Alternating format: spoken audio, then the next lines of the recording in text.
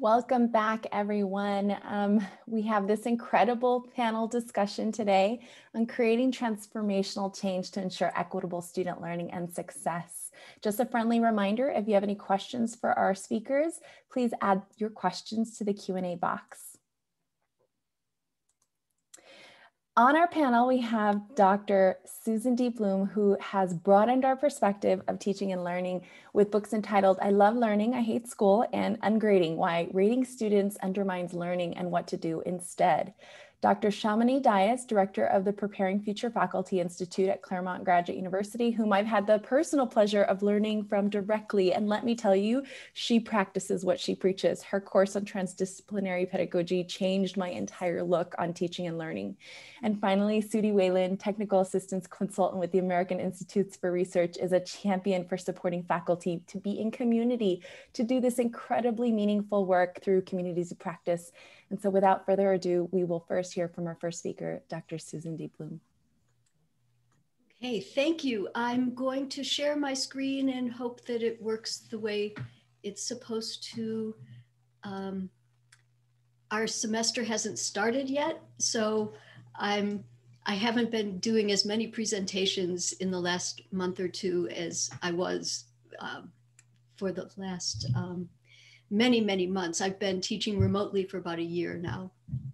I just want to thank you for the invitation to um, speak with you. It's really exciting to see all the thoughtful work that people in community colleges are doing. Obviously, I don't have to tell you how important your work is, but it's something that I'm really awed by. So I'm honored to have the opportunity to speak with you today. Uh, the plan is in 15 or 20 minutes, I'm going to do all these things. I'm going to kind of follow up on where our last speaker left off, or one of the implications he suggested was that we really need to think about good teaching. And my the bottom line is that I think grades have a role to play in good teaching. And by grades, I mean no grades or ungrading. So I'm going to present why grades don't do good things, why grades do bad things, um, what we should do instead, and what the results are. I, I, have green trees as the background because I think we all need a little extra soothing these days. So I hope that it calms you down just like the music did in the interlude. So um, I'm inspired by Bell Hooks, who reminds us that the classroom is where the radical action takes place. This is where we actually practice freedom, although we don't usually. So, how can we practice freedom for this kind of lighting the fire of learning? How do we create confident learners? And I'm going to suggest that it's not the way we usually do things. I also want us to keep in mind, and I obviously don't have time in my time to address this, that we are not talking about some sort of generic learner, we're talking about human beings. And then that's more important than their learning, which is more important than their performance. So, this is just a kind of values equation that I like to keep in mind. But why am I going to suggest that grades aren't doing the good things and are doing bad things and that we should do something instead. Here we go. So, grades do many things, but, and I can't go into all the research for all of this right now, but they don't do what we often assume they do. So, they don't actually motivate or they don't motivate in any ways that we desire. There are rooms full of studies about this going back 100 years. Some of the names you might have heard of are Ryan and Deci talking about intrinsic and extrinsic motivation.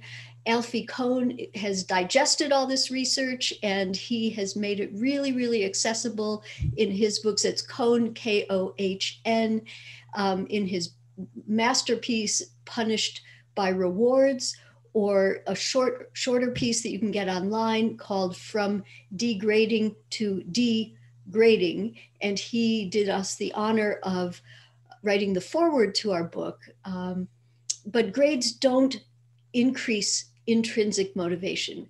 They only give a kind of coercion, which is exactly what we're used to, but not what we're trying to accomplish if we want confident, joyous, engaged learners. Grades also don't communicate. We think they do. Sometimes the assumption is that students need to know how they're doing and the grades tell them, or that other teachers or employers or other institutions of education need to know. But in fact, for a hundred years, people have been demonstrating that grades are completely inconsistent and really unreliable. They give a kind of false precision. And a hundred years ago, Starch and Elliott did three studies. They they gave people, they gave educators examples of student work in English, history, and math. And they said, okay, grade this. And what they found was these professional practicing teachers varied from, let's say, a, a D to an A on um, how they thought the student work measured up. That's been replicated since then and we know the grades don't actually communicate with the precision that we um, attribute to them. Further, they they are in some ways arbitrary because different educators and different systems and different subjects include different measures. So I, this is going to be a really fast um, kind of whimsical um, view of what grades communicate about.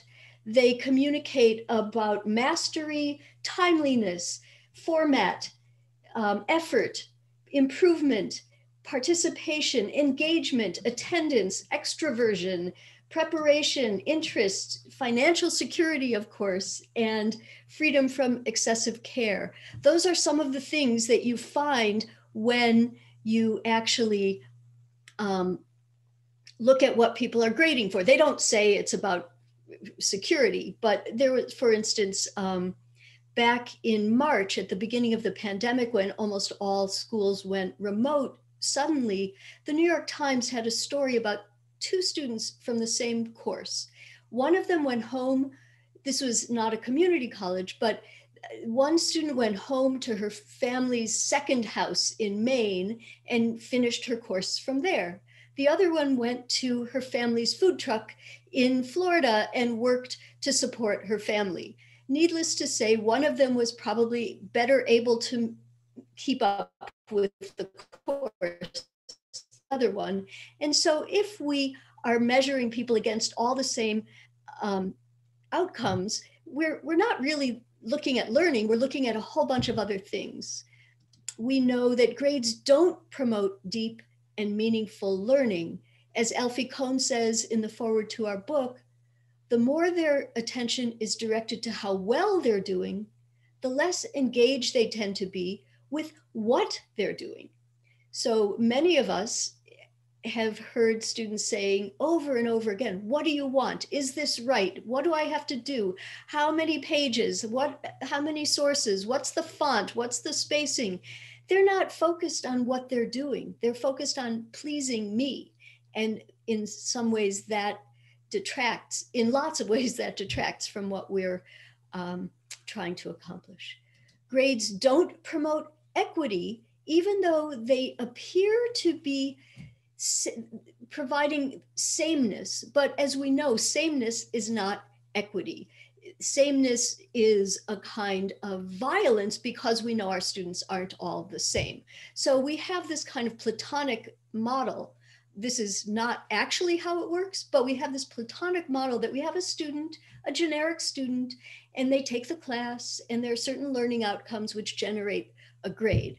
But instead, it's the reality is much more like this we have students with all different backgrounds, different racial backgrounds, different linguistic backgrounds, different ages, different economic situations, different health, different abilities, different transportation, different citizenship status. We have all these different situations. And even in the same semester, some are working full time, some have care responsibilities, some um, they're they're experiencing even the same semester in different ways. So the outcome, their goals are different.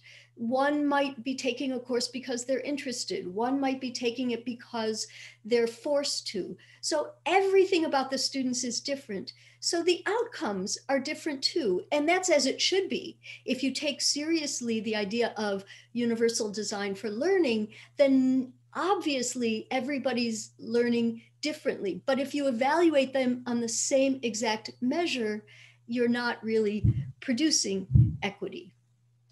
Another thing we know is grades do a lot of bad things.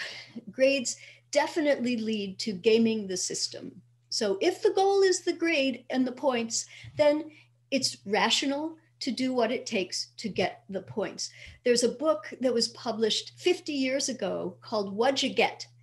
The Grading Game in American Education by Kirschenbaum, Simon, and Napier. It's actually just being reissued as we speak um, with a new edition, by, with a new um, introduction by Barry Fishman. And basically, nothing has changed in 50 years, except more people are gaming the system and the stakes are probably higher. But gaming the system is a direct outcome of grades, which also encourage cheating because you want to do as little as possible to get the grade. So cheating seems rational. And I wrote a book about this. So I I'm not advocating cheating. I'm not saying that cheating is a good thing, but I'm saying that it's an, a direct outcome of a focus on grades. Grades reduce or destroy intrinsic motivation. This is connected to all the research on the difference between intrinsic and extrinsic motivation. Nobody has to pay us to eat ice cream unless we're ice cream tasters, in which case we probably dread eating ice cream eventually. But most of us do a lot of things that we like for the joy. And the fact is, humans, like other mammals, are um, great learners. We are driven by curiosity, but school often kind of diminishes that. Another thing grades do that we don't really want is they promote competition among students rather than cooperation. And especially if there's a curve, which um, I don't know if your courses mandate, but in some departments, some colleges, some disciplines, a curve is mandated. If you want to see some of the research against that, there's a really wonderful article from 2017 by Schinske and Tanner called Teaching More by Getting Less. And they teach in STEM fields, and they argue that our idea of normed abilities is really flawed and does not lead to what we're hoping for, which is robust learning. Grades also finally um, constitute the principal source of students' academic anxiety. So if you ask students, what are you worried about? Obviously, they're worried about paying the rent and they're worried about feeding their children and they're worried about getting the car fixed and they're worried about COVID and they're worried about their kids and their parents. And there are lots and lots of real life worries. But in terms of academic anxiety, grades are usually the primary focus. Teachers also don't like grades very much. If you ask faculty, what's the part of your job you like the least? For most faculty, it's the grades. Okay, so maybe I've convinced you that grades are problematic. So what do we do instead? So here's where um, I come in. So I'm a proponent and a practitioner of ungrading. So ungrading basically just means not focused focusing the course on grading. And this can be small or total. In my own courses, I go for total ungrading until the end of the semester when I'm obliged to produce a final grade for the course. But even if you aren't as radical as I am, um, or maybe you're not able to do it, or you're not in as privileged a situation as I am with tenure and so forth, um, there can still be lots of ungraded activities. So, lots of interesting, intriguing, meaningful assignments connected to where the students' interests are. Things can be fun and educational, obviously. Um, there can be lots of these sorts of things. The feedback could come from other students. The professor, the teacher isn't the only person who can produce feedback. I myself have gone to total ungrading, um, which for me means focusing on these four dimensions. So I'm focused on learning, on student choices, on authenticity, and on reflection and feedback. So learning, obviously, everybody thinks they're focused on learning, but often grades also focus on compliance or effort or time spent or challenge. And sometimes learning requires effort, but it doesn't always. Um, if you're learning language as a child, you're not, um, nobody's drilling you, nobody's evaluating every mistake. And we know that mistakes are necessary for learning. So if we're averaging mistakes into our grades, we're punishing people for learning. So if we keep in mind this principle that learning is really what it's all about, that can help a little bit. But one of the other things we know is humans benefit from having choices. Um, self determination theory and psychology tells us that in, there are lots of places where we know that choices make students feel like they have a kind of power, which is what we're trying to do. We want their education to empower them so they can go forth from our classrooms, whether it's to the next level of education or whether it's to a job or whether it's to life. We know that humans are learning all the time. And so we want to give them the sense that they know how to make choices, that if you're going to try to persuade your landlord not to evict you, what is the best way to do it? Nobody's imposing a multiple choice test on you. So, how do you decide what genre is the best one to use? If students practice making choices in school, they will have this experience as they go forward. Another dimension of um, this focus on um, student on real learning is authenticity where for let's say writing there's an actual audience. So students aren't only writing for the teacher they're also writing for somebody else. So Cathy Davidson for instance who's written widely about education was an english teacher when she began and she had her students write job application letters. And her she was teaching them writing and the students certainly cared about spelling and they certainly cared about conventions of letter writing because the stakes were really high. There is a lot of reflection in courses that don't have grades because it's really important for all of us as adults to reflect on our practices and figure out is this good? Is this good enough? Is this accomplishing the goal without waiting always to be told by somebody else, oh, yeah, that's that's good, that's not good. So, like athletes and artists, honest um, looking at people's work develops metacognition that includes self assessment on assignments. I've now gone to a single point rubric rather than a detailed rubric. You're either there or you still need some work.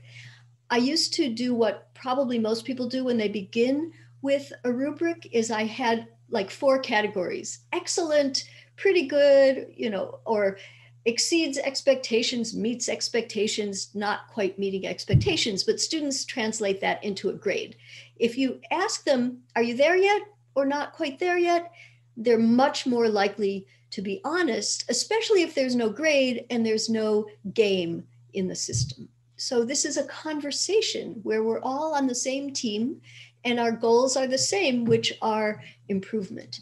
And that includes feedback, not only from me, the teacher, but from others in their community of learners. So there, when you develop a community, and that was part of the previous presentation, also some kind of sense of the social nature of learning together because we all have that that's what we're doing right now right we're developing a kind of community so we have people we can turn to and that happens also um, in my courses i ask students for reflection on major assignments and then we have portfolio conferences. I, I used to try to do it at the beginning, middle, and end of the semester. That was kind of a lot. Um, i I was inspired by Starr Sackstein to reduce these meetings to five minutes each. She's a high school teacher, and if the students are doing a lot of reflecting and they've accumulated their portfolio, then they can talk to me briefly about what they think their grade should be. I know that's always a question how do I develop grades? The students suggest their grade. They say, What do you think their grade should be? And they they say, well, based on what I've learned, based on what I've produced, based on my goals, I believe I've earned a B plus. Not every student says even in my high achieving university, not every student believes they have earned an A in every course. So the results of this have been transformative for me. My students are happier, I'm happier. Um, I have much better relations with my students. They still learn a lot. They are, they say explicitly sometimes, for the first time, I learned for myself instead of learning for the grade. And for me, that's um, that's what we're after. So I've edited this book on ungrading. It has chapters, five chapters from people in K through 12 because they have spent the most time thinking about pedagogy. Alfie Kohn, as I said, honored us with writing the foreword. There are STEM teachers, there are community college teachers, there's a community college organic chemistry teacher in this book. Um, there's a math teacher. So I, I think this is happening now. There's a movement, and I encourage you to question your traditional practices. And if you really are committed to learning, try ungrading at least a little bit and see what happens. So thank you, and I look forward to our discussion and listening, learning from the rest of our um, speakers today. So thank, thank you so much, Dr. Blum. I see all this incredible just comments in the chat and these gr great questions. Just folks thinking this is extraordinary. It's amazing. It's some, I'm certainly inspired. Um, we're gonna just ask one brief question of you um, after each speaker, and then we'll open it up for Q and A um, after all we hear from everyone. But I guess this one question I would ask is what would you say to faculty who think that some learners are so used to grades as a measure of their success that they wouldn't know how they're doing in the class if they don't get a grade, or they may not be inspired to complete the learning activities if they're not graded? We have to have conversations with them if they're not completing like i've stopped really punishing students for non-completion but i am keeping track especially during the pandemic. And you know if students aren't attending or if they aren't engaging or if they aren't completing the work i want to know what's happening. Like what is going on? Are you not interested? Are you sick? Are you like are you homeless? What is happening and how can i help? So that i i might want to know that but in order to help them not to punish them and how students are doing um, if they're learning and they know they're learning and they can do the next work, then I think they are getting authentic messages about how they're learning rather than this kind of artificial message that says this is a B plus, you know. Um, and if and also I give feedback. Um, I give. I've gone to audio feedback for major assignments, like one minute, just like this was exciting. This was um, you might next time want to think about this. And I loved reading it. It moved me. I cried. I mean, I last semester my students' work was so amazing. I literally cried over and over again. Students wrote song. I gave them all kinds of choices. So the authentic learning was absolutely um, motivating my plan for the class and they really took me up on it but yes you're right students aren't familiar with this and you know you should see what high achieving students at selective schools think about grades. You know, they think that's like their birthright. Um, but they actually are relaxed. They it's taken me a few years to figure out how to put them at ease. And um, but they really do appreciate it because they understand they trust me and i trust them and we have genuine interactions and conversations and they see that the focus is really on them as a human being who is trying to learn. And it, it takes some tweaking. It's it's not instant and you can't just do everything you used to do like have tests and things and not give a grade you you may have to rethink a lot of the dimensions of the course Thank you so much. It's so insightful. And it seems like if you're not as bogged down by trying to assign a grade, you would have more time to connect with students on that level. Thank you so much, Dr. Blum. Look forward to hearing more from you later today. Now um, it's time to hear from our next speaker, Dr. Shamini Dias. All right. Um, good morning, everyone. Uh, and I'm really, really glad to be here. I'm going to share some slides. And um, uh, Dr. Blum, you really laid the ground for a very important conversation. And I hope that what I'm going to talk about with multiliteracies um, builds on that, takes from that, and connects with that so that we can have a really good conversation after. So let me share my slides right now. Um, oops. Okay. All right. So, oh, wait. There we go. My computer's acting up a little today. It's a bit sluggish. So, um, I, you know, actually, I want to say before I launch into the slides that um, at the Preparing Future Faculty program at Claremont Graduate University, we use that book, Ungrading. We love it. Um, and uh, it is very transgressive uh, graduate students are, um, you know, they, they're trying to learn how to teach. They feel very, very, um, you know, going into teaching for the first time, especially if you're adjuncting.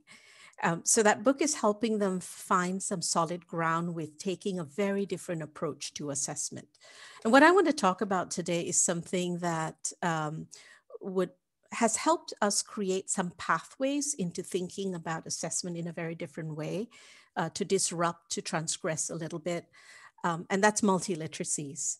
So um, I want to start with this model. We've all probably seen different versions of this everywhere, but um, what we're trying to do is move away from that transmission model of education, which is from an industrial production economy, from a time that had, uh, you know, there was a hegemonic kind of filtering that excluded many learners. Um, and especially as you see, you saw in um, Dr. Blum's presentation, assessment and grading and the harm that it can do. And what we want to do is move in all ways, in all aspects of education to this engagement model where it's built on the idea of co-creation, choice, students having authority, where we invite and honor all that rich um, all the rich minds, identities, histories, um, the diversity that our students bring. And part of the reason also that when, when I get to talking about multiliteracies, that this matters so much is because we're not just teaching students for you know our class this semester. We're teaching them to flourish in their future. You know, so it's it's a it's a big thing that we are trying to to journey together with our students, you know, as a road into their future. And so the question is, how do you do it? And I want to begin with this just for a moment. Take a guess what you think this is. Okay, here we go. This is the map of the internet. And, um, you know, so this is our world. And I love this as a metaphor because I think that it represents the, the complex space in which we live. And it has a lot to do with communication, with connection, information. This is our, what you know, has been called for a long time the information and knowledge economy. So many of the qualities of this world, it's always shifting and changing milliseconds. It's decentered. It's interconnected but also very diverse. You know, and for some people, that's a huge paradox. And the big question that comes up for us with this is so, if this is the world into which our students are going to go, um, what abilities must we nurture for them to flourish in this kind of a world defined by this flux and change the whole time, and defined and shaped by how we use information and knowledge? And this is where multiliteracies might be a very useful concept, right? Um, you're thinking of, you know, the old idea of literacy, teaching our students to read and write, right? And um, as you heard in the previous presentation, there are so many ways, genres, discourses, worlds of uh, literacies. And so multiliteracies as a, as a concept is opening it up to all the different modalities, forms, uh, discourse universes, both analog and digital, right? And on, on the right, you just see a short list of them. But more than that, in using these different modalities, multiliteracies is not just the read, write, comprehension. It is about all these processes that you see in the word cloud connect, compare, contrast, curate, select. What is a bias? What's a perspective? Explore. And so there could be a lot of fostering of this curiosity to enter into this world, of the joy of being able to navigate this world and to communicate and create in this world. And what multiliteracies does is support the engagement model uh, of learning. And one of the things that's really important, and I was so excited to see the bell hooks quote, is because it is uh, an incredibly, you know, in technology, it's a disruptive technology. You know, it disrupts an old paradigm, it transgresses. Um, but in that disruption and transgression, we are allowing our students to take center stage in their own lives. And that's really a big part for me of liberatory education. Um, so I want to I want to jump in. I have three little frameworks that I want, uh, frames rather, uh, ways of looking um, to interrogate our traditional or what I call legacy assessments. So very quickly, what are some typical legacy assessments in your discipline, and what feelings come up for you? We heard a lot about this, and for your students, right, in the last presentation. And what might pop into your mind might be some of these things right? And what I have learned in, in my own research, in the work I do with students, is how traumatizing grading and ass- just the word assessment is. And it can go for decades. You know, people have been harmed by this. And why do we do it? When learning, you think of a child learning, is so filled with joy, right? They lose it. Where? Why? Because they go to school. Um, here's a second frame, a perspective to see from what is the connection for you between assessment and inequities? Um, and which students typically do not perform? And when you think about it, what are the assumptions behind this traditional legacy assessment approach? Um, and some of it, you know, is that the one size fits all. Everybody's going to do the same thing input, passive reception, output. Or that uh, performance is an indicator of learning. But you know, that student who didn't do well in my class, was it really because of what I call, borrowing from public health, social determinants of learning? This is what we're measuring, not actually learning. That student who did really, really well in the test, was it because they we are measuring privilege? So there is a real inherent problem in the logic of assessment that we need to start really uh, embracing and thinking about. And then this is really important, this third frame, which is why we measure, why we do this uh, assessment. The first two, summative and formative assessment, we're measuring. And, I, and then the next three, we're supporting learning to empower learners to foster metacognition, learning how to learn, to make learning mean, meaningful. So the joy, the curiosity, the relevance, the application of learning to their own lives.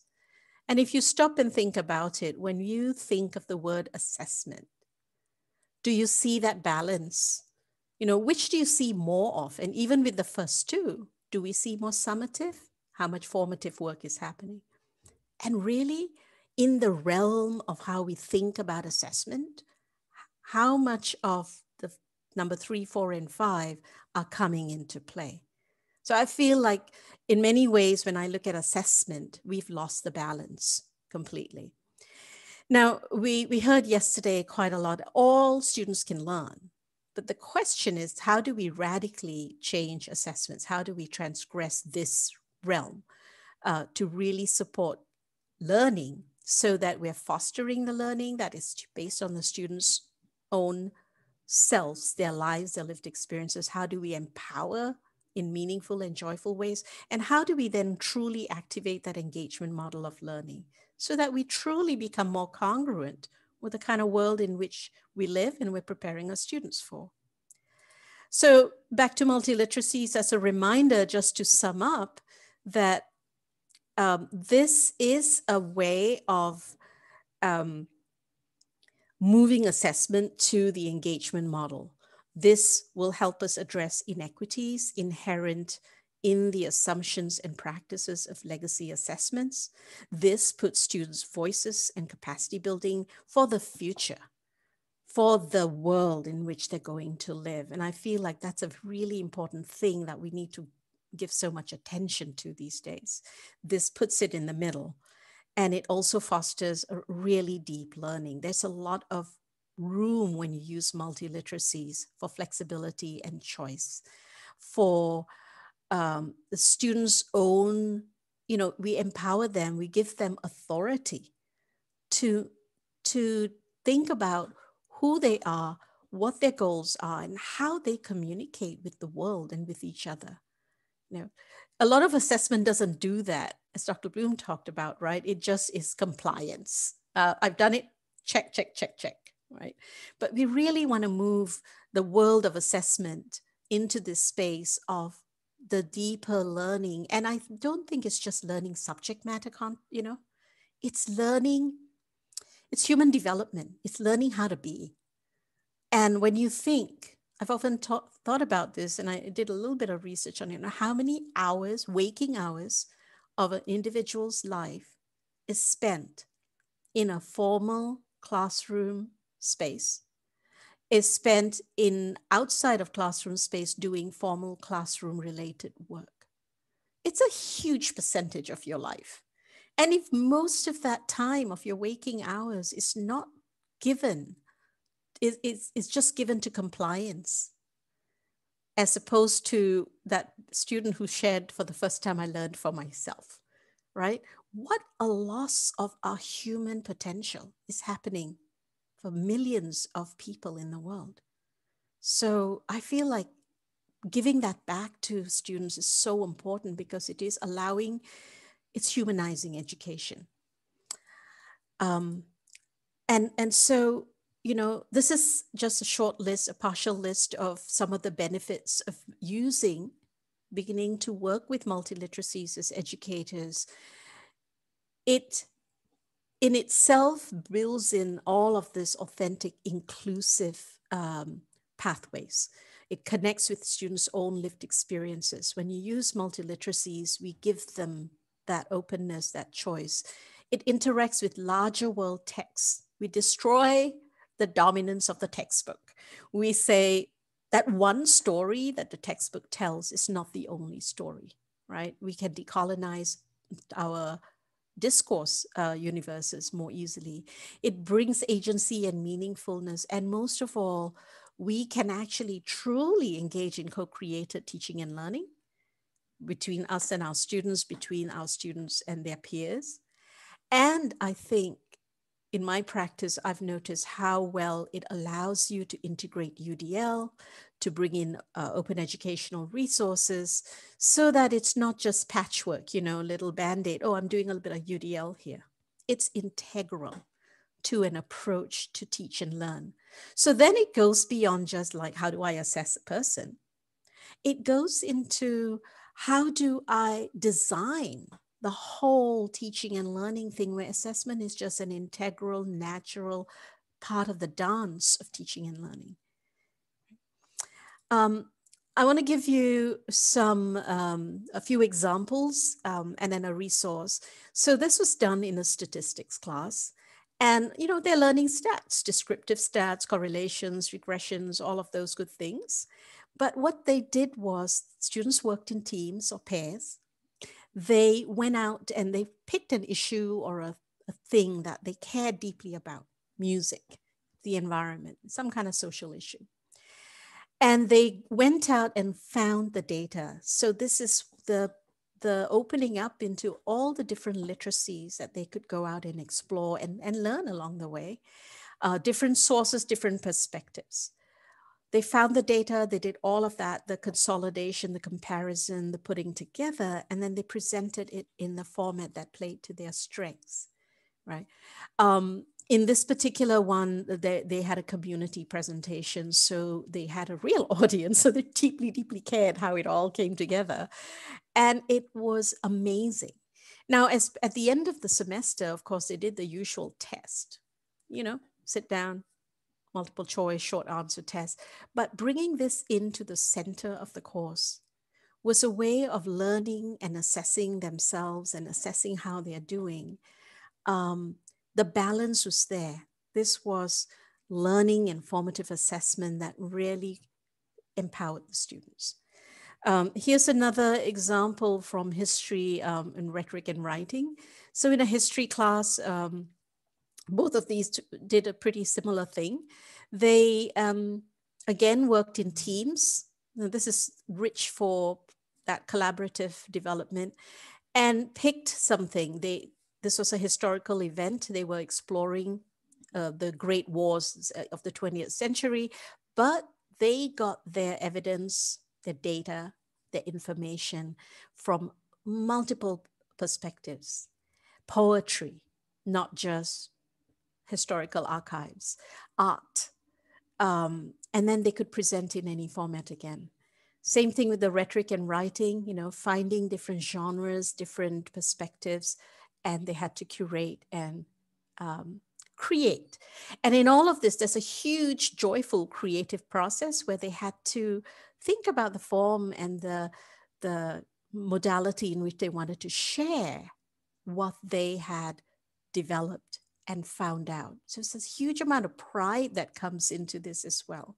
And the intrinsic motivation uh, was there because there was so much flexibility. Um, there was, you know, there are deadlines and timelines. And when I do this kind of work, because I have a theater background, I talk about the development work, the uh, devising work, and then we're rehearsing. And then there is, you know, performance day. And so we have to be ready. And that model uh, allows a lot of flexibility for all the different life circumstances to get worked out. There's a lot of negotiation that goes on.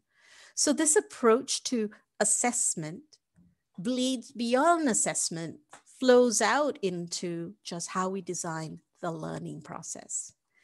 Um, I wanted, uh, there is a document that when you get the slides, uh, you can download. This is just a simple list of a starter list I call of you know different modalities and ways of going about assignments, assessments, and activities, and uh, some ideas for that.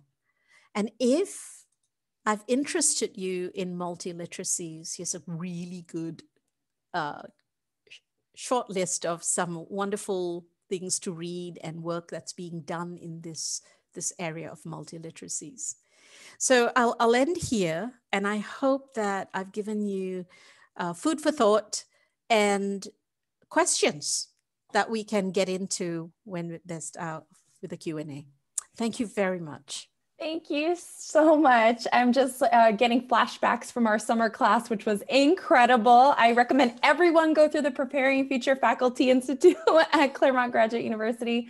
I do have a question for you. And by the way, you're just getting so many kudos about the examples because theory, it's theory and action, right? It's not just the theory behind it, but like, how does this actually play out in real life? So just want to say, totally appreciate that. I have one question for you before we move on to our next uh, speaker, and that is how can institutions support the type of reflection and interrogation of assessment and measurement that you've outlined today? Okay, uh, two things. One is uh, we have more power in our classrooms than we realize. Um, and and the small you know i call it edging in and um, the way dr Blum talked about you know the little bit or go whole whole way in we can edge in um, doing a little bit of this and if you don't have that you know you're not protected by tenure you're adjuncting and so on um, or a new faculty member there you can do more than we we can always do more than we think. And i know this from experience. I have always done run the risk of ask forgiveness later and just done things. But the number of times where nobody's ever queried it is overwhelming you know? So we can you can bring this in in small ways a little project you know? Uh, do a little bit of ungrading do a little bit of multiliteracies. Bring it in in a little bit.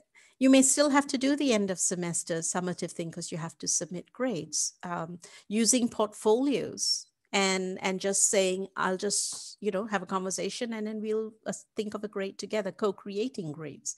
The second thing is that this is part of i think of teachers as quiet activists.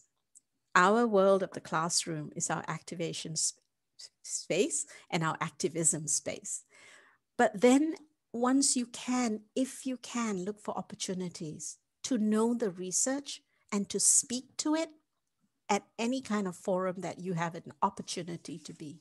So, to also be the advocate if you sit on a committee. I know that this is the ground up way it works, but I do feel that we are no longer alone. Look at us here at a symposium. We have each other, and knowing there are people doing this gives you courage gives you strength. Um, and so I'm not saying it's easy, but I do feel we have more pathways than we know that we should be looking out for and go for it. Ask forgiveness later. I love that. Thank you so much, Dr. Dias. So now it's time to hear from Sudie Whalen. Um, and it's such a beautiful transition because um, Dr. Dias is talking about all this incredible work and that we're not alone. And I feel like Sudie's going to talk a little bit more about how we can come together to do this meaningful work. Thank you so much. I literally just wrote down what she said. We're not alone. We have uh, and we have each other. Like that's got to be the mantra for 2021. I feel like as we move forward in this work. Thank you so much for saying that, Dr. Dias. And I also um, really I wrote multiple notes because there's so many great things that between Dr. Dias and Dr. Blum that stated um, stated that really lends themselves to faculty collaboration. Um, so I'm going to go ahead and share my screen. I have just a couple of slides. Um, and if you were in my sessions yesterday, you probably heard some of this, but the group by and large wasn't all in the room. So I want to make sure that we're all talking about this collaboration and moving forward together. Um, when we talk about those big ideas of faculty learning communities, we're not talking about like brand new concepts that don't exist. Remember, faculty learning communities were on college campuses in the 1960s and the 1970s. Before learning communities were in K 12, we were doing it on college campuses first, right? And so we're trying to bring that movement back to where it was before, where it really originated, where that heart and soul of educator collaboration really began. And so when we think about those big ideas and what that really means. I really loved what um, Dr. Blum said earlier when she mentioned that different grades and different systems don't align. And I would push that a little bit further to say that do those grades in our own campuses even align? And beyond that, do we even know what that means for our students, right? And so when we come together as learning communities, we shift the focus from the grade, we shift the focus from simple compliance to we're focusing intentionally on learning. We're focusing intentionally on collaboration and we're really focusing intentionally on results. And when we're talking about results, I don't just mean they passed the class, they graduated, and they're marked as, you know, part of those graduation statistics. I mean, we can look at those results of what the student learning, the evidence of student learning, the things that they can do, the knowledge and skills they acquired, and we can look further past that and see that the evidence of that learning is students who are prepared for workforce, students who are prepared to go into the next level of education, not just students who got the A in the class and have that piece of paper, but then they get to the next level and they're not really ready. And so as educators who are in these classrooms with the students, we are in the position to really get to focus on these specific things, right? And so I keep seeing in the conversation in the chat, you know, what, what about these large classes? What if I have 200, 250 plus students? We're talking about, I really love that Dr. Dias said this earlier, that disruption. We're talking about systemic change. We're talking about systemic disruption. We're talking about changing the way we do business so we can better serve students. And that means that we have that bubbling up from the bottom and trickling down from the top distributive leadership where we're making shifting, changing, and going in both directions at all times so that we can make this better for our students. So that means that sometimes we have to look at our class sizes and say, can we really serve our students to the best of our ability if I have 250 students? Those are really hard conversations we have to have, but we have to be willing to do the best we can for our students. And that means looking at the way we allocate funding, looking at the way we distribute our leadership, looking at the way class um, uh, classrooms are established and how are assigned, looking at the way teachers collaborate together and the time that they're allowed to have together. That means bringing adjunct faculty to the table because they're doing a lot of this heavy lifting and work in terms of educating students, but they're not often included in the conversation. And it means supporting faculty. It means supporting faculty to empower them to do the investigative work that is needed to really serve our students. So when we get further to the idea of focusing on learning, um, we're not just talking about learning of just a student. We're talking about learning for ourselves, for students, for faculty, and for the institution as a whole. Um, in the book I talked about yesterday, A New Way by Eaker and Sells, when we talk about learning communities, this is what they had to say about that. I just thought this was so such a great quote that the goal is that, that each graduating class learns more than the previous graduating class. In other words, we envision the institution itself as a learner. Over time, it continuously learns how to produce more learning with each graduating class. We're not saying we're producing higher scores. We're not saying that, you know, we're getting higher grades and all these students are graduating and we, you know, we have that feather in our cap. No, we're saying we're producing more learning, that our students are doing better at each year after year after year. And that means that we're looking at ourselves. We're looking at our practice. We're looking at the data that supports our practice. And we're evaluating, you know, not just those summative assessments, but also formative assessments. And when I say formative assessments, I'm including those classroom activities, that project-based learning, that problem-based learning, all these things that help us know, did the student really get it, right? I'm not just talking about that essay they wrote or that multiple choice quiz that they were able to respond to, but that real evidence that they not only learned it, but can apply it. And that's a little bit harder to do. It takes a lot more time and effort. I get that, I know. We're not saying this is gonna be the easiest work in the world. What we as educators is so important that we can't afford to take the easy way out. We have to really investigate our practices as we're moving in and as we're doing this work. So then when we look at the other big ideas, this focus on collaborative teams, we're talking about, I'm talking about a structure of an intentional embedded collaboration in which faculty gets to come together and peer review what each other is doing, talking about our work, talking about our challenges, trusting each other enough to know that you care about my students the same way I care about my students because they're all our students, and asking each other the hard questions, which is how can I as an educator do better? How can I learn more? How can I be a lifelong lifelong learner and encourage my students to be lifelong learners? And how do we learn together and grow together?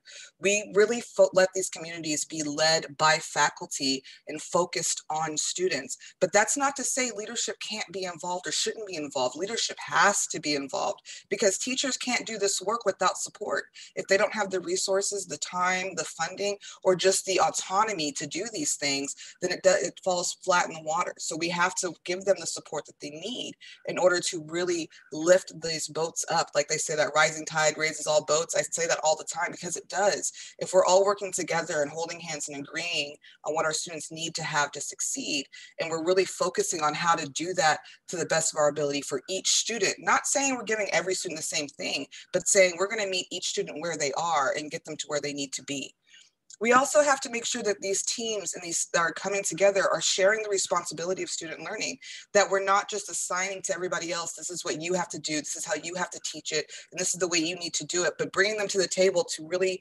evaluate and investigate their own work and practice together. That sometimes means that the teachers who are not included in the conversation need to be brought to the table because those teachers who are adjunct part-time faculty who aren't always able to come to the meetings who aren't paid to attend certain things they're still still teaching in those classrooms. They're still teaching students. We need them to succeed just as much as we need tenured faculty to, to succeed. So we need to make making sure that all teachers are supported, not just the ones that we know are the rock stars that do great jobs and do great things, but those little bright lights that often go unrecognized and unnoticed need to be also be included. And we need to give teachers an opportunity to learn from one another and build each other up. I can be the most awesome teacher in the world in my field and think I'm so great. And I always have space to learn from other faculty members, from other educators. And so bringing teachers together to give them the opportunity to do that really helps them grow. And then when that third big idea and I know this is going to be sound so controversial, but at the end of the day, it's not about our happiness and what makes us feel warm and fuzzy and everything that's great. Research tells us and we know that collaborative teams make for happy, happier and more motivated faculty, which is great, but that's not the primary focus of the learning community. The primary focus is learning, and it's the learning of our students and being able to assure that students are learning, being able to assure that students are meeting those outcomes that we're saying that they're meeting, right? So that does require somewhat of a bit of a paradigm shift from the intention. We, we're really hoping our students are getting this. This is what we're saying that they're going to get. I'm pretty sure they got an A, so I'm almost positive they got it, to actually looking at results. What is the evidence that the students actually understood it and can apply it? And that is a little bit of a mindset shift. And then we're talking about having giving teams meaningful improvement goals and letting them establish those right? Those teachers who are in the classroom, those faculty members who are looking at their students on a weekly or daily basis, who are, you know, looking at those grades and assessments and everything else, those are the ones who actually know, those are what we call, if I'm former military, the boots on the ground. They know what's happening with these students, right? And so we need to give them an opportunity to identify where those gaps are, set goals to meet those gaps, and the steps it takes to align with those goals, right? But that also means that faculty has to communicate with administration and administration has to communicate with faculty as well, because it's both responsibilities, both directions, to assure that we're, we're sharing and we're meeting the, the institution's mission, vision, goals, commitments, all these things, and that we are all aligning in what we're hoping to happen with our students. Sometimes that does mean revisiting what our mission and our vision really is. Because if we're not meeting it, maybe we need to evaluate, do we need to rephrase it? We also make sure that team members in these communities hold one another mutually accountable for results. When we're talking about having these um, groups being faculty led, that's not to say that they are completely out on their own and there's no accountability whatsoever. There has to be accountability. We have to have expectations for what we want faculty to be able to do. And I really loved um, the comment that was made earlier about the difficulty people have in getting these things to happen on union campuses. But if you bring the unions to the table, then you get the opportunity to actually do better better, right? And so what we see is that when we bring faculty and people that have those that kind of influence with faculty to the table and ask them what are the needs, what what can we do, and involve them in that, we move a lot farther than we do when we just say this is what's going to happen and make it a top-down approach. So then the last thing I want to get to here is the, the question of are we putting students first? Um, Eaker and Sells challenge us to move beyond Darwinian culture in terms of colleges and the survival of the fittest that you know we want to make sure the best student is the one that finishes and they you know they fight to the very end. No we need to get to the point that we give students the time and the assistance and the access that they need to succeed. And that means that every student doesn't need the exact same thing. I will go so step, far, a step further to argue that we do this without reducing rigor. By bringing the level of rigor down or saying that we don't need to be as hard and needs to be less difficult rigor doesn't necessarily mean difficulty it means we're covering all areas, right? And I, we're not going to reduce the rigor in order to make sure students can succeed. Instead, we're going to give students what they need to meet that rigorous level. If we bring the level and the and the requirement down, that's not equity. That doesn't support anyone. If we say, okay, if we lower our standards, the, all the students will be more likely to succeed. Yeah, our, our statistics will look so much better, but these students will be no better prepared than they were before. And the goal isn't for us to look good on paper. The goal is for us to produce students who really are, can succeed, who can exit our campuses and go to the next level of education or get a job and earn a sustainable wage so that they're not struggling later, right? That's why we do this. Um, and so that means that we have to actually lead some form of cultural change in order for this to happen, right? That means that there's not going to be a one size fits all approach. And the reason for that is because all these campuses are different. What's happening on your campus is very, Even here in the state of California, what's happening at Mount San Antonio College is not the same thing that's happening at LACCD. The needs of faculty at LACCD may not be the same as the needs of faculty at Los Medanos College. These things change and the, and the demographics are different from one area to the, to the other. What's happening on your campuses in terms of faculty collaboration is different from one area to the other. So you have to look at where faculty is and bring them along and, and, and provide what they need in order to establish actual collaborative teams and communities. Um, that's just how it is. But that means you have to do the investigative work of figuring out where is my faculty, right? I've talked to a couple of people over the past year or so who are doing a lot of really great work in terms of faculty collaboration within California. And there are some schools that are so much farther along and there are some that aren't. And so that means that you have to look at where you are now and figure out, do I have the funding available? Have I provided the time needed? And do we have the structures in place that our faculty can come together? And if that's not the case, that means we have to figure out what we need to do to make it happen to support faculty collaboration. This requires effective leadership. It's really unreasonable to assume that any kind of influencing any kind of change on campus is going to happen without the support of faculty and staff. But it also doesn't work well if leadership is not invested or involved, if faculty is not empowered, if they are not given the autonomy, if they're not given the resources that's, that are needed for this kind of systemic change. So that means we have to have what we call a simultaneously loose and tight kind of culture. That means we are loose enough to allow faculty to lead the direction of their team, would you know maintain academic freedom, if you will. But we're tight enough to assure faculty are again aligning with our mission, vision, values, goals, and commitments. And we're loose on the approach. In other words, how the faculty chooses to address this and how they work together and what they come up with as the experimentation they want to try. That we need to give them the space to do that, right? But that means we also need to be kind of tight and say, okay, if you're trying this and there's no result, if we can't measure any change, if we're not seeing the students are better prepared and the students aren't feeling that way, then in that case, we need to, you know, go back and try it again and bring it back together and do something different. So that's what we call that top down, bottom up leadership. From the top down, we're articulating with clarity our core mission. We're holding faculty and staff accountable. We're being explicit about our priorities. But the bottom up approach means that we're improve when improvements don't, we know that improvements won't work without the buy in. So we're giving the faculty the opportunity to tell us what specifically they need. What are the trends that they're seeing? What are they seeing that their students are asking for, right? So we're looking at that. And then we're empowering faculty again to investigate, to learn learn, to experiment, because we have to be able to do that. So I'm gonna get off my soapbox in just a second, but for those who attended my session yesterday know that they could get a free ebook copy of this, Yark, don't kill me. I still have, I think, nine available slots. So if you do want to get a copy of this book and you want to learn how can I lead change and start, you know, in, instituting um, learning communities on my campus and start doing that, you can get this book for free um, just by following the link and I'll give it to you just one second. I don't work for Solution Tree. I don't know Robert Eaker in Sells personally. I have a stack of books related to learning communities, but when it comes to colleges, this was the one that I found made the most sense because it was really honest about the difference between implementing learning communities in a K-12 campus versus doing so in higher learning campuses because they're not the same. And you can't just take that one process and plop it down and think it's going to work. And so I really appreciated the honesty in this book and saying, you know, you have to have a different approach. You have to let teachers lead, but you also have to support that. So if you are interested in um, getting a copy of that book, I'm going to pop the link into the chat as soon as I locate it because I lost my little sticky note here, um, so that you guys can access that. Again, I only have about nine slots available. So the first nine people to fill that form out who did not do so already, I know who was in my session yesterday, I have that list.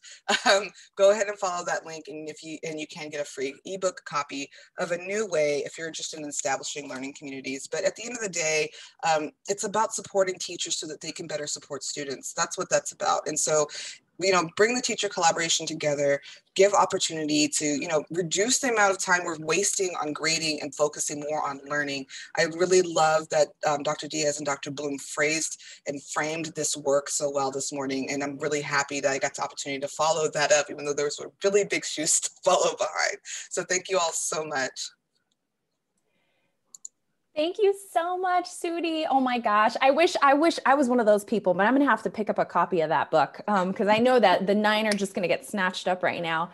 Um, I do have a question for you, and then we're going to open it up for Q&A for the entire panel. But the question for you, Sudie, is given how faculty who may be, um, you know, pushing the boundaries, transgressing, as Dr. Dias said, um, can sometimes feel isolated in making some changes and or maybe be feeling restricted by campus politics, um, you know, the old guard versus the new sometimes. What advice would you give to faculty member, maybe they're untenured or they're new or they're adjunct, who wants to build a community of practice, be in community with others, um, but maybe at an institution that doesn't necessarily have the conditions in place to support that work.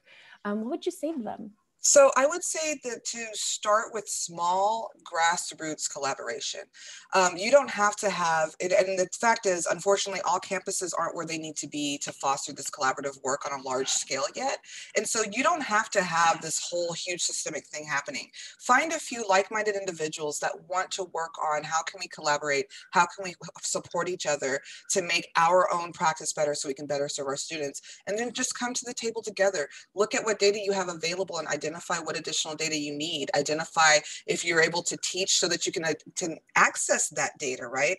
And so sometimes it just helps to come together with just a small group and you don't even have to be teaching the same thing. Someone asked me this yesterday, like if, if we wanna focus on critical thinking, can we all just come together and think about are we assessing and are we teaching critical thinking properly?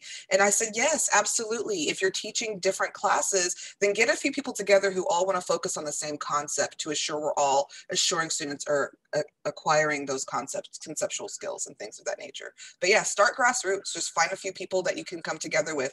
You can be on the same campus, you can be on different campuses, but you can get that peer review and collaboration work going um, from anywhere.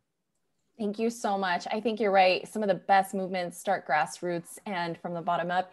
And uh, the SLO talks, you know, there's the listserv for SLO. So for those of you who are interested in really doing that work and maybe you're not connected to folks on your campus, join that community um, and definitely start um, reaching out. So at this time, we'd like to open it up for Q&A for the entire panel. And I know Stacy has a, a, she's got a, um, a question there for us. So I'm gonna pass it to Stacy. Great, and one second here, it's trying to add all these spotlights in so everybody can uh, see who is talking. Um, we had a great question from chat and thank you so much for this wonderful discussion. It's been so active. It seems like it is really resonating with a lot of folks today. And we know um, we're so happy that this is getting recorded so it can be shared out even more widely. Um, a question from Sharon um, on, on, uh, on grading. So they're all for grading, but our college still requires a letter grade at the end, right? That's the reality of the world that we live in right now. What can we do about that?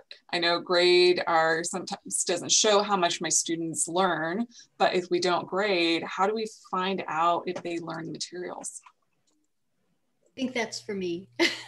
um, so I also have to give a grade at the end of the semester. So the question is what why doesn't the grade reflect what the students learned? I mean, we usually, and it, it might vary in, from place to place depending on whether you're teaching somebody else's curriculum or something, but we, it seems to me that if grades mean anything, they should mean what students learned. And if, so if there's a sort of mechanistic um, formula for adding things up, you, it needs to come out right. You know, it needs to come out so that it does indicate what students are learning. So what are the problems with the formula and how can you change that?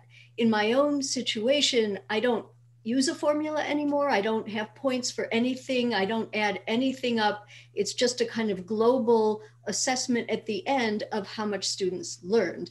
And we I do that in conversation with the students. They actually generate the grade, which I may or may not change, but they they have evidence. They have a portfolio.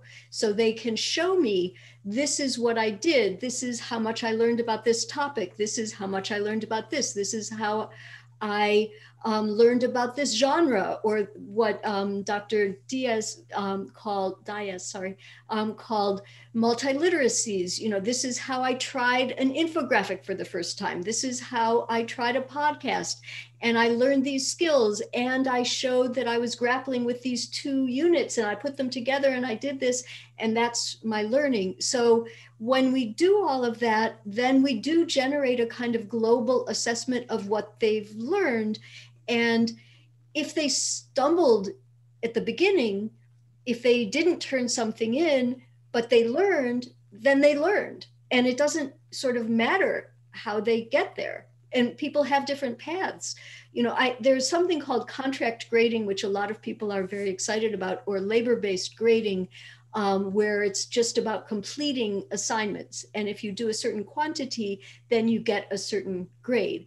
And there is a kind of correlation between labor and completion and learning, but it's not mm-hmm. automatic. So portfolios are my preferred method, but it it it's just an accumulation like an artist would have of everything they can take with them and you know i don't want to monopolize the conversation here but one, one of the things that's so beautiful about a portfolio is you can take it and use it to demonstrate what you've learned so that for an employer, for your grandmother, for everybody you want to show, you have this evidence of your learning and it produces pride, it produces excitement, it produces connections outside the classroom, it's more authentic, and all of that is so much connected to genuine learning. And so the more we can have that our focus and then use the grade as a kind of final guess, understanding that there is no true objectivity and that this precision is an illusion. And so if you have, you know, a grade of like I used to agonize over, you know, this person got a 89.7. Should I round up? Should I round down? And that's arbitrary. That's a decision I can make. And so sometimes I might and sometimes I might not. But now that I don't do that, it's much less um, horrifying for me and for the students too. Thank you. I think you put it so well. You're, and it's really capturing that. Um, going back to what Yorick was stating this morning, making the invisible, the intangible more tangible, right? Um, to students can actually see and share um, what they've been learning along their whole journey. So I'll turn it over to Libby. Yes, and Dr. Dias, you talk about that, the value of transparency and how important that is. And you've mentioned inching your way. Like if someone wants to do this work, they want to do ungrading, they want to, you know, change their, you know, praxis what would you say to a faculty member that wants to do this, but is overwhelmed by all the resources that are out there and just doesn't even know where to start? I would say um, pick one thing in the classroom, one thing you want to do this semester, like you're really interested or curious about how students use social media. Uh, and you know they do, and you check in with them, and they all do some kind of social media, and you pick that one thing and you bring that in to a piece of the learning that they do. That might be your first step. That's it. And, and what I want to say that actually empowers faculty, uh, teachers so much is you should also document the learning, you know, build a portfolio of the students' work because it gives you, it supports you. If somebody actually says, What's all this? You can say, But just look at what they're doing. And that is why they get the grades they do so you have your evidence as well you know and I, and I think uh, dr Blum really put it well like it is not an objective precise measure. It's an illusion. At the end of the day when i give three points or five points yeah i don't like that agonizing either. I'm being arbitrary. And and depending on how i feel i might give you know it just it's absurd. But the evidence of my portfolio of my students learning that pretty concrete. Say they did this. So I would say take one little thing, bring that into the classroom, try it this semester, see where it goes, then do the next thing. Before you know it, you're in it deep Absolutely. Thank you, Dr. Dias. Stacy, I think you have our next question. Yes, um, we've gotten a question from one of our attendees. Um, Grace asks, how do you ensure the work produced is actually from the student? There are resources on the internet that help students obtain work. I'd like to jump in on that very quickly uh, because I encounter this question a lot. One, if there is a formative process, for example, in building a portfolio, it is very hard to cheat um, because you get to see the voice of the student is there. So you know it's who it is. Two, I think it's grading that, and I think uh, Dr. Blum can really speak to this. Uh, grading high stakes is what causes that outcome of I need to go and get something from the internet and I'm going to copy this, I'm going to buy an essay. So I think when we change the game, this might uh, go away a little bit. And when you give students choice, an authentic choice and meaningful choice, in 30 something years that I've been working like this, um, cheating has never been a real issue. I, that's exactly right. Um, I, I wrote a book about plagiarism, and um, it's I think it also depends on the assignments. If the assignments are kind of cookie cutter assignments where mm. people can just, you know, write an essay about the Gettysburg Address. I mean, you know, uh, who wants to do that? I mean, it's a brilliant address, but you know, have a comparison between something that happened yesterday in the student's life and something that happened there that isn't a generic kind of assignment. Um, but the other thing is, we all consult the internet right? Like it's not like I write in a vacuum in an empty room with the internet cut off. So what we need to actually help our students figure out what uh, to do is how to use those resources in responsible, ethical, acceptable ways. And so cutting them off from the world that's out there is very arbitrary and artificial and doesn't actually serve them. So, but we it might mean redoing assignments and you know having formative um, dimensions, having drafts, having feedback on the drafts, talking about what you can use and in what way. I totally agree. In fact, even just at my level, I'm in a doctoral program. I took um, quantitative reasoning with Dr. David Drew, and for the i've taken it three other times in my throughout my academic trajectory i've never really understood it. I just did enough to get by. For the first time in my life i understood it and was able to like submit something to conference that got accepted. And it was his his theory was you know real stat you know real researchers you know his exams were like oh it's totally open notes. It's totally use a calculator. Like in real life you know, it's not like you're cut off from those things. In real life, you will be referencing these sources to do this work. And so it doesn't make sense for me to assess you in a way that cuts you off from the things you're going to need to do in real life. And I thought, why aren't we teaching all our quantitative reasoning courses mm-hmm. like this across yep. our system? Like, somebody please consult with Dr. David Drew. but I totally agree. Yes, thank you. Right. Um, my next question is for Sudie, this question is for you. So you talked about sort of the ground up and then the right this just this all these different ends. Let's say you have an institution that does want to support faculty learning communities and they're like, gosh, we can't afford to pay everyone to do this. Are there other ways that they can foster this collaboration, right? That let's say doesn't involve stipends or some resource that they may not have a lot of.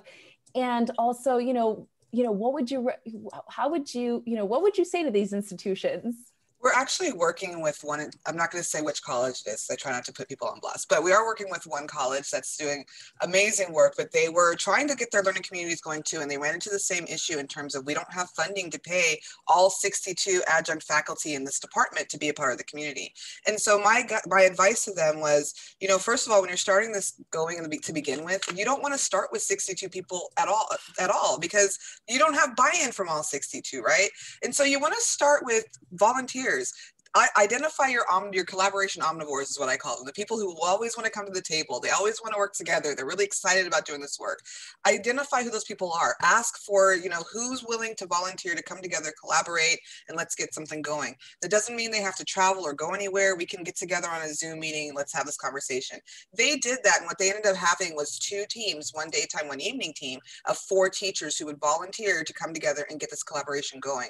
What ended up happening, and which has been just eye-opening and exciting for me, is that those four were getting so much stuff done and getting so excited and they're talking to their colleagues like, oh, my, this is what's happening. This is what we came up with. If you want to use this new resource we found, that it's starting to grow and more people are showing up to the meetings. And this is solely voluntary. Um, but one thing, one thing I will say is that the school is looking at and has started inv- investigating how to fund it further so they can get more buy-in. And so they're working on adding that to their budget for next academic year. But they didn't have it this year. And so they said, we want to start this and let's see what we can do. And they got the volunteers and the volunteers were the ones who spread the word and shared the information and the education and got more people to start participating. So just ask, just ask say I, we want to hear from you. We want your opinion. We want your advice. We want to collaborate from you. Are you willing to come to the table and see who's willing to be there and put in the work and start doing it? The interesting thing is once once educators start collaborating they get excited and they start getting, and they start doing a lot of things. And so it grows pretty rapidly if you give them a chance to lead it themselves and give them and empower them to do that. Um, but then also let them know these are the steps to come in terms of resources. We don't have it now but this is what i'm doing to get you what you need next year. And then also um, supporting whatever types of products that they need additional funding to produce and things of that nature. So if you don't have it now, get some volunteers, but plan for how can I add funding to this later.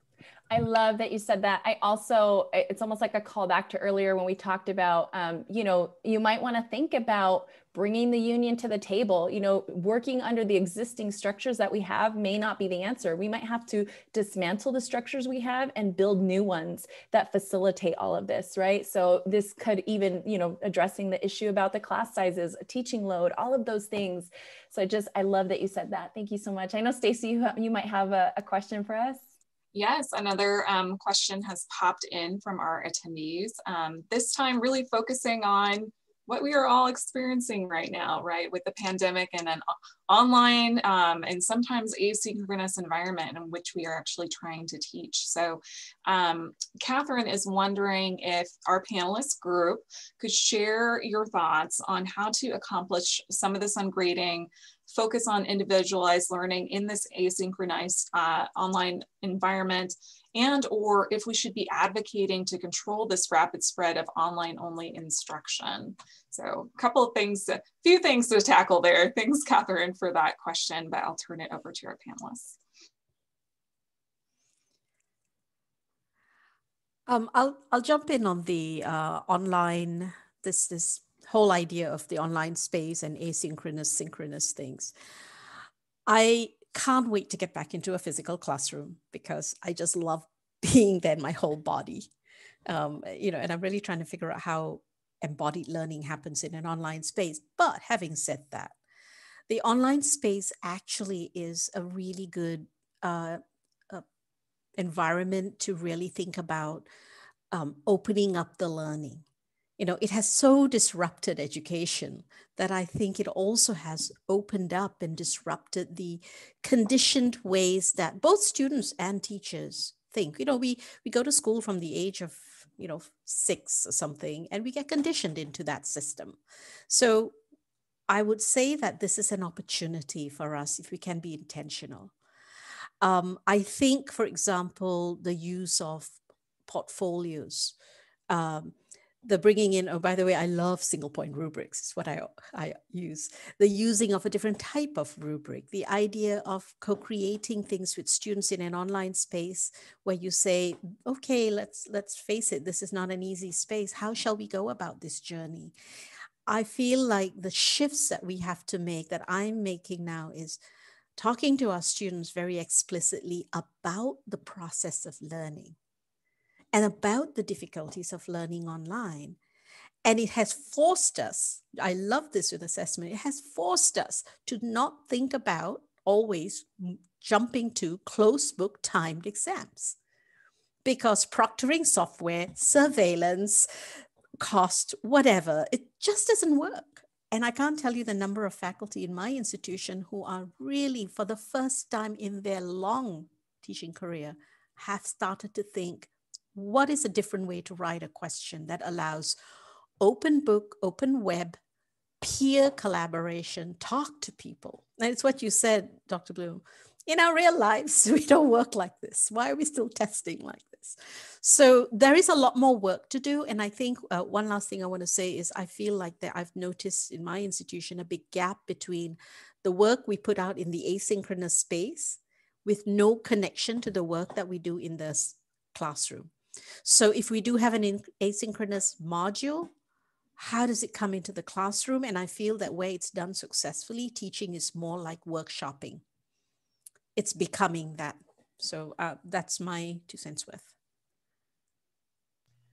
Yeah, I, I, I think um, we have never had as many national conversations about teaching as we have mm-hmm. in the last 12 months. Um, it's been extraordinary. And, you know, I've been teaching, as I said, remotely since March, and it's been really hard. Um, there are all these discussions about synchronous and asynchronous dimensions of classes and equity and access and the digital divide and who has cameras and who doesn't and all of that has really forced us to think about what are our goals and how do we get there and you know if a student doesn't turn on their camera what does that mean? You know if does it mean they're in a parking lot using the wi-fi from the library? Does it mean that they're in an apartment with 12 people? Does it mean that their wi-fi signal isn't strong enough for the video and the audio? Does it mean that they're bored you know that they didn't do the work? It's it's hard to interpret that. And so i think this whole moment has given us you know it's forced everybody to really think about the affordances of some of what we can do better online and some of what we miss and certainly i miss many things i but we've it's also really revealed the inequities and the diverse backgrounds of all of our learners mm. which we've it's been easier to gloss over them when you kind of see all the people in front of you in the room because they've at least the ones who come have shown up and you kind of see them as students in a row. But now we we're really aware of all the differences. I want to quickly say something piggybacking with that. I think what you've touched on is very important that it's forcing us to think about trust and connection in the classroom. When someone isn't switching on their videos, do we jump to an assumption? Just like with participation, if they're not speaking, are they not engaged? And it is about trust and relationships now. Uh, and it, online space, interestingly, is maybe humanizing the teaching in some ironic way. I'm going to put on a different hat very briefly. Um, I'm also a distance learning coach, and Yark and I were talking back in the spring, and I was like, when we were trying to plan an SLO webinar, I was like, I'm really popular right now, so let me get back to you but one of the things I do want to say, and I want to address the last part of that question, which is, should we slow down the trajectory? We, I don't think we can. I'm just being very honest. Mm-hmm the way that we do education now has shifted. We we had a huge, large swath of educators who just were very averse to distance and blended learning. They didn't want to do it. They wanted to stick with being in the classroom. And unfortunately, uh, or fortunately at this point it's there's no longer an excuse to say we can't do distance learning. But with that being said that doesn't mean distance learning and online education is right for every student and that every student thrives that way. We have way too much research research telling us at this point that some students are really struggling and some students are doing really really well. And so i think what we're going to have to look at is meeting students where they are after this ends and making sure that we're offering education in a way that we're serving the needs of all students um, distance learning does add an, an aspect of equity to our education offerings because it gives students who can't get to the classroom otherwise a way to get there. However, when we are forced 100% online, we create another equity issue with when, in terms of the digital divide, right? And so we have to be willing to investigate all of these things. But if you're trying to identify, are my students engaging? Are my students, you know, doing really well? Utilize the built-in tools in your learning management systems. There are so many logs and resources and ways for you to see? Did my student where did my student get stuck? Where did they spend the most amount of time? Where, what can i tap? And then utilize exactly what dr Dias says those online portfolios. Utilize these other ways of doing things besides just you know clicking a multiple choice and you know typing a long essay. There's so many activities and things that we can do online to assure our students are learning. But i think we need to be prepared for the fact that and i'm as much as i love tech i hate working from home. I'm not going to lie. I can't stand it. I want to be back in my office. I want to be around with my friends right but we do have to be pre- prepared to do some level of online learning and continuing that go, going moving forward because we know that for some students that works really well and we don't want to leave them behind Oh my gosh, such good stuff. I wish we I, I wish we could just do this forever every day. I, I would meet with you every day. Um, but I know it's not possible and we're about to go to break. So I just want to ask each of our panelists, what final takeaway would you give or piece of advice to each of our attendees who want to envision themselves as learning leaders? Hmm. For me, I will say this is hard to do given all the hard questions. But if you can keep a grounding in joy and courage for teaching, you will have hard questions. Things won't go away, but you will move forward because joy and courage is teaching means you want to bring that to learning and that you care about all learners learning. That's my grounding that I'll share. Um, why are we in this in the first place? What is it that we're trying to accomplish? And how do we get there in ways that align with the big goals? And how can we be on the same side as our students and get them to where they want to go in a way that has, I think, joy and also meaning? And um, I, I believe that all people deserve to um, be respected and move forward and have goodwill. And so, how can we foster that in our practices, in our interactions, and in our structures? So that helps me. I would just say to people who are um, looking to be leaders um, in, in this movement is what, if, if you will, of shifting education to be more student focused, right? To just share. When you learn something new, share it. If you're struggling with something, share it because someone else can help you. If you did really well, share it. Celebrate those small wins. When your students are doing really great, share that. Make sure they know they're doing really great. But the big thing here is just to share, be a collaborator in your classrooms with your students, build those sense of of those communities within the classrooms, build those communities outside the classroom, and share whether it's the good, the bad, the ugly, because we're all going through this together. And when we're honest with what's happening, we can hold hands and work together and do better and make and make the situation a little better. So share what you know, share what you're struggling with, and allow people to help you. Thank, Thank you, you, so much. much. Yeah, Stacy and I are